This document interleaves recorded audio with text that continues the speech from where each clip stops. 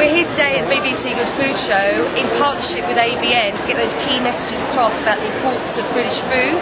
We're also showcasing the British offer, the best of British and in-season produce here at the BBC Good Food Show today.